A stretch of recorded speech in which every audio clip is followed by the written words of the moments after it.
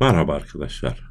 Bugün TAR 212 kodlu 1789-1876 tarihleri arasını kapsayan Osmanlı Tarihi isimli kitabınızın tanıtımını yapacağım.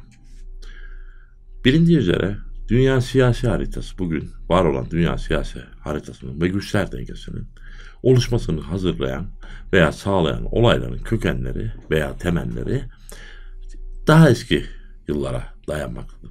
Genellikle 18. yüzyılın son çeyreğinden itibaren gözle görülür veya e, gözlemlenebilir belirtilerle birlikte 19. yüzyıl ve akabinde 20. yüzyıldaki olaylar e, şekillenmiştir. Bu bakımdan 18. yüzyılın son çeyreği, 19. yüzyılın başı diyebiliriz ki e, Osmanlı Devleti açısından e, gelişmelerin neler olduğu hakkında bu kitabınız sizlere çeşitli bilgiler vermektedir. Osmanlı Devleti 18. son çeyreği itibariyle bile sınırları bakımından Asya'da Yemen, Arabistan Yarımadası, Hint Okyanusu, Basra Körfezi, Kafkasya'da Avrupa'ya kadar uzanan bir bölgede e, Anapa'ya, Kafkasya'dan Anapa'ya, Avrupa'da Dinyester Nehri'nin batı kıyılarından Romanya, Bulgaristan, Yunanistan, Sırbistan, Arnavutluk gibi ülkeler bugün var olan ülkeleri de içine alacak şekilde bir genişliğe sahipti.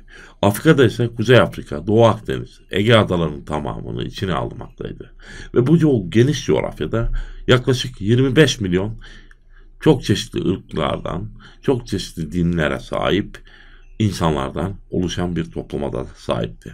Ancak bu toplumun veya bu devletin asıl sahibi Türklerdi, Müslümanlardı. Avrupa'da yaşanan değişimler, 18. yüzyılda yaşanan değişimler e, Osmanlı iç siyasetine de yavaş yavaş yansımaya başlamış. Osmanlı devlet yönetimi de yönetim merkezi olarak, yönetim anlayışı olarak merkeziyetini korumakla beraber e, özel idareye sahip eyaletler, muhtar ve bağlı beylikleri de bulundurmaktaydı. 19. yüzyılın başına gelindiği zaman 3. Selim'le başlayan bir dönem e, diyebiliriz ki e, içte ve dıştaki sorunların çözümü için artık Avrupa kaynaklı çözümler denenmeye başlandı. Ya da bunun e, ağırlık kazandığını görüyoruz.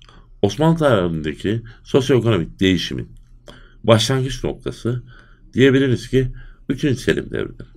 Tabii aynı zamanda bu dönem batılı devletler açısından Doğu sorunu çerçevesinde ele alındı ve bu çerçevede Osmanlı de, devlet ilişkileri bakımından uluslararası ilişkilerde e, Fransa, İngiltere, Avusturya ve Rusya giderek ön plana çıktılar. Öte yandan köklü değişimleri içinde barındıran 19.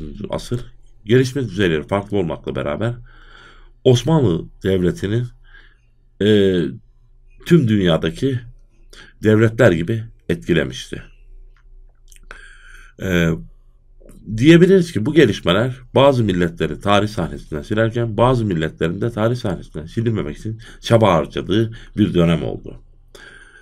Osmanlı Devleti kendi tarzını, varlık biçimini, değişme hızını e, reformlarla geliştirmeye çalıştı ve sürdürmeye çalıştı.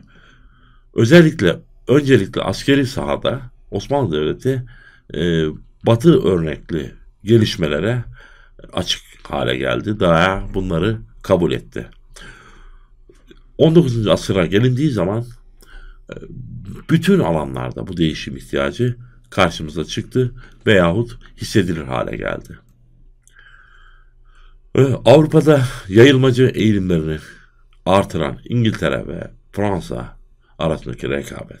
Bunun dışında Osmanlı Devleti'nin Rusya olan Rusya ile olan ilişkilerine baktığımızda diyebiliriz ki giderek bir yoğunlaşma e, ve bir e, e, bir yoğunlaşmanın yanında tehlikeli boyutlar da alabilmişti.